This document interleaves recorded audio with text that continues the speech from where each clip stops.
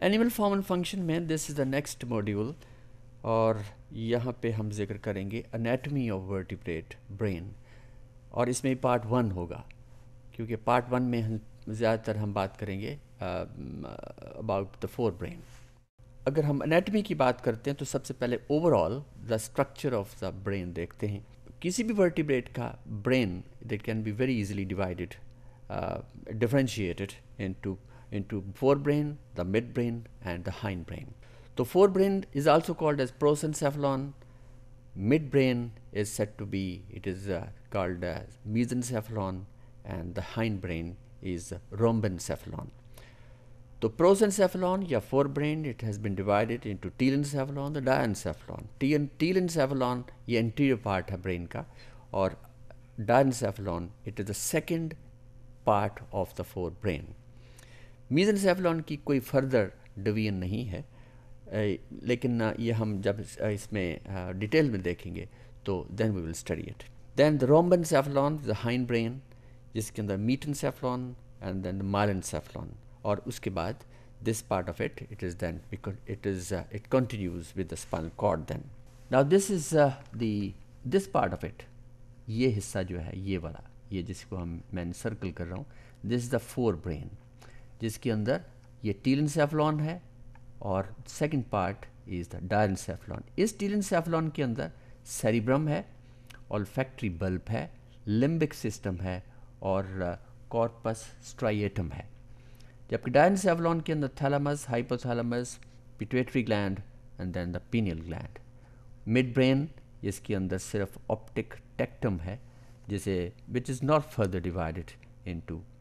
further portions तो hindbrain is also called rhombencephalon इसके अंदर पॉन्स और सेरी बेलम है देन द मेडुला या medulla oblongata and then it becomes continuous with the spinal cord तो ये एक सी एन एस का एक पार्ट है, जिसकी फर्दर डिवीज़न दिखाई गई है। Now the brain during development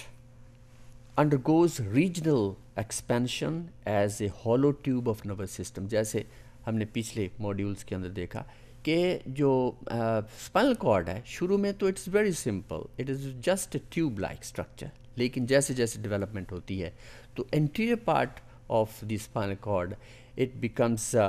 it and goes regional expansions यानी कुछ सा एक्सपैंड कर जाता है और कुछ सा कंस्ट्रक्ट भी कर सकता है कर जाता है। और uh, फिर वो एक कंप्लीट ब्रेन का स्ट्रक्चर पे बनता है। तो प्रिमिटिव एनिमल्स के अंदर ये ये स्ट्रक्चर जो हैं, ये इतने एक्सपेंडेड नहीं हैं। लेकिन जैसे जैसे प्रोग्रेस हुई है एवोल्यूशन की, जैसे फिशेस के अंदर फिर एम्फीबियन होता है रेप्टाइल्स एंड बर्ड मैमल्स तो ये प्रोग्रेसिव उसके अंदर डेवलपमेंट है। प्रोग्रेसिव उसमें रीजनल एक्सपेंशंस हुई हैं, जिनका हम ज़िक्र करेंगे। तो the tube that develops into forebrain midbrain and then the hindbrain in the forebrain जिसके अंदर टीलन है और डायन है। तो the vertebrates forebrain has changed a great deal during evolution इसमें सबसे ज़्यादा चेंज जो आई है वो इसी फोर ब्रेन के अंदर ही आई है। The forebrain has two main parts ज़िक्र किया गया द टीलन एंड द डायन the टीलन the front part uh, of the forebrain expanded rapidly in size and then complexity इसके अंदर कॉम्प्लेक्सिटी भी बहुत हुई है। ये ना सिर्फ़ साइज़ के अंदर इसकी एनलार्जमेंट हुई है, बल्कि साथ इसके कॉम्प्लेक्सिटी भी बहुत ही ज़्यादा हुई है। Then the telencephalon this consist of the cerebrum क्या है? ये एक सबसे जो बड़ा हिस्सा है ब्रेन का, वो सेरिब्रम ही है, जिसके अंदर मैक्सिमम नंबर ऑफ़ सेंटर्स हैं। और ये अगर आप मेडिकल की बुक को देखें तो वहाँ पे बहुत ही खूबसूरत डायग्राम्स हैं, जहाँ पे दिखाया गया है कि ये डिफरेंट सेंटर्स ये ऑडिटरी सेंटर है, ये वीएन सेंटर है, ये ये एरिथमेटिक का सेंटर है, ये लॉजिक का सेंटर है। तो इस तरह हर हर प्रोसेस के लिए there are specific centers which are mostly, mostly they're present in this uh, cerebrum portion. और इसके अलावा फिर ऑलफैक्ट्री बल्ब्स हैं दैन लिम्बिक सिस्टम है और कॉर्पस ट्राइटम है। तो ये वो हिस्से हैं जो कि टील एंड सेफ्लॉन के अंदर पाए जाते हैं। तो सेरिब्रम और सेरिब्रम जो है जैसे हमने ज़िक्र किया तो इट इज़ डीपली नॉच्ड अगर आप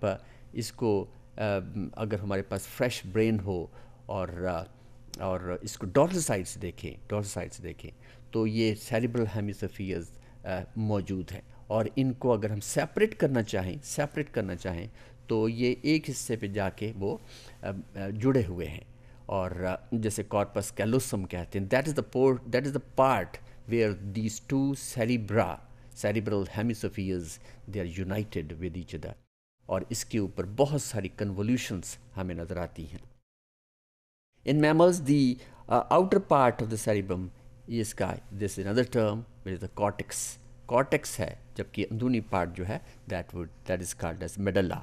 या मेडुला तो cerebrum progressively increased in size and then in complexity cerebrum has different parts having specific functions ये जैसे जैसे इसकी डेवलपमेंट हुई है और नए नए नए नए स्ट्रक्चर्स उसके अंदर कम्प्लेक्सिटी आई है तो साथ ही साथ उसके फ़ंक्शंस के अंदर भी बड़ी कॉम्प्लेक्सिटी आई है। Now, cerebral cortex contains primary secondary and motor areas. इन सब के अंदर जैसे हमने ज़िक्र किया कि वहाँ पे मुख्तलिफ़ सेंटर्स बन जाते। तो ये ह्यूमन का ब्रेन दिखाया गया है। ये ह्यूमन की एग्जांपल इसलिए this is sort of it it is quite interesting बंदा इसके अंदर ज़्यादा कंसंट्रेट करता है।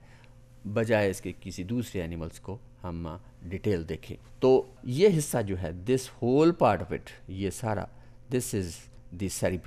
This whole is cerebrum. Or uh, it has been bisected. It has been bisected into two parts. और इसलिए ये this yellow part that is the corpus callosum जहाँ से जहाँ पे ये दोनों सेरिब्रा आपस में मिले हुए हैं then and this is part this is cerebrum this cerebrum और इसके आउटर मोट आउटर मोस्ट या peripheral region that is called the cerebral cortex then ये हिस्सा दिस इज़ हाइपोथैलेमस और ये this is the pituitary gland ये पॉन्स पॉन्स और मेडला और सेरिब्रम ये तीनों हिस्से जो हैं that makes the hindbrain then और ये थैलमस और हाइपोथैलमस हाइपोथैलमस ये भी they play very important role जिसका हम ज़िक्र करेंगे इन the next module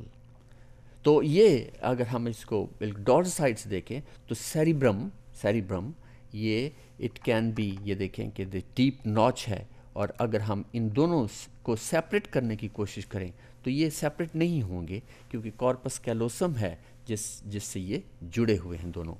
Now the cortex also contains areas involve in perception of visual signals from the environment to to in, uh, in to environment now in man ability to use language both written and spoken so मतलब ये इस बात का कहने का ये है कि हर एक्टिविटी के लिए there are specific centres in the cortical region of the brain Now, increasing importance of cerebrum affected many other brain regions, especially cerebellum and thalamus. जैसे जैसे cerebrum बड़ा हुआ है तो cerebellum थोड़ा बहुत वो यूँ समझें कि वो छोटे हो गए हैं या वो इतने डेवलप नहीं हुए तो हम वी कैन से कि कुछ इसमें इनमें कुछ अफेक्ट हुए हैं दे आर अफेक्टेड तो the diencephalon which is the second part of the forebrain after telencephalon, it expands slowly as compared to the telencephalon. तो डायनसेफ्लॉन दैट कंटेन्स इस डायनसेफ्लॉन uh, का हिस्सा है ये हाइपोथैलेमस पीनियल ग्लैंड थैलेमस और पिटवेटरी gland और जाहिर है कि ये भी बड़े इम्पॉर्टेंट पार्ट्स हैं जो कि which the parts of brain तो ये now the thalamus ये इसका काम क्या है it relays it relay all the sensory information to higher brain centre यानी इंफॉर्मेशन असल में पहले थैलमस में आती है और इन सेंसरी डॉन से the information will come in thalamus and then then it is it is then shifted it is then conveyed और communicated to the main parts of the brain which they will analyse and accordingly ये फिर effectors काम करते हैं। The hypothalamus it regulates many functions जिसके अंदर sexual drive है carbohydrate metabolism है हंगर है थर्स्ट है। तो ये जो एक्टिविटीज़ हैं they are all under the control of hypothalamus then the pineal gland it control some body rhythms खास तौर पे द रिदम्स लाइक स्लीप इसमें। तो ये this is all this is under the control of this pineal body तो now the pituitary gland जो कि जो कि डाइनसेफ्लॉन का हिस्सा है it is one of the four parts which produce hormones और ये तकरीबन कोई नाइन डिफरेंट हार्मोन्स जैसे हम uh, अगले uh, जो मॉड्यूल्स uh, के अंदर इस uh, को भी बहुत डिटेल में हम स्टडी करेंगे कि which hormones they are produced by this pituitary gland or uh, that comes in the blood and or इसका सारी it's a very complex system which is uh, the endocrine system तो ये endocrine system का क्या है it's a master gland it is master gland this is uh, the pituitary gland तो ये hypothalamus के control में है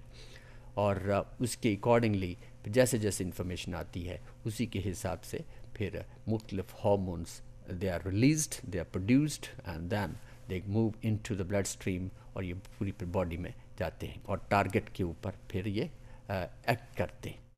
So this is all about the the brain anatomy और जिसे हमने ये एक this first part of it this the first part of it the second part of the brain that will will discuss in the next module okay ji.